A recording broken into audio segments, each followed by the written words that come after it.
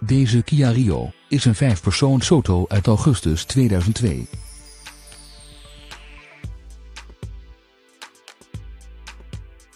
De benzinemotor heeft een handgeschakelde transmissie met vijf versnellingen.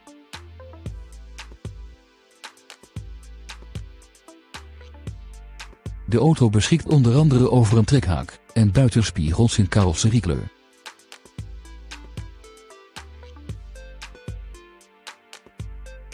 Het getint glas, de in hoogte verstelbare bestuurdersstoel, het in hoogte verstelbaar stuur, de centrale deurvergrendeling en de startonderbreker zijn onderdeel van de lijst van opties en accessoires van deze Kia.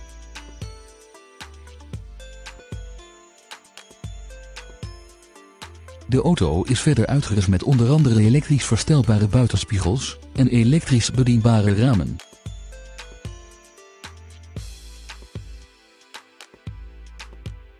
Als u nader wilt kennismaken met deze auto, komt u dan gerust vrijblijvend langs voor een proefrit.